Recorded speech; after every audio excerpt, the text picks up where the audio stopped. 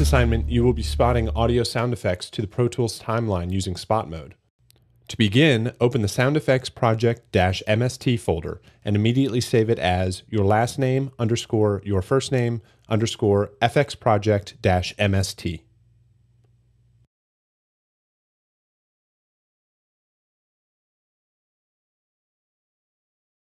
In this session, create three stereo audio tracks. Use the keyboard shortcut Command-Shift-N to create tracks. Let's name the first track top underscore FX. The second track will be top underscore FX2. And the third track will be bottom underscore FX. Let's import the sound effects we will be using for this session. In the File menu, go to Import, then Audio, or use the keyboard shortcut Command-Shift-I.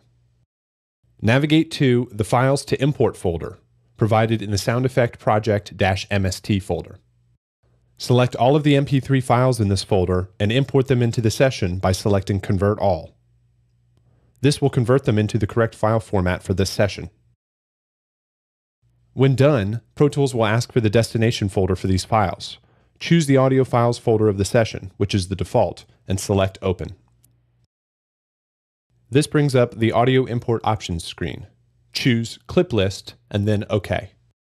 Once these files have been imported into Pro Tools, we will place them onto tracks using Spot Mode.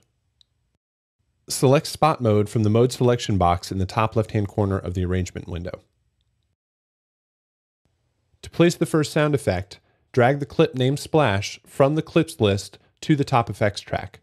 This brings up the spot window.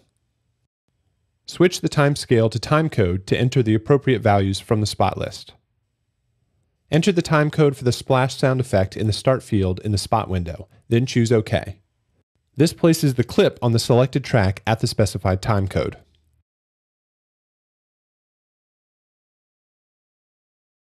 Timecode for all of the clips are found in the spot list text file included with this assignment.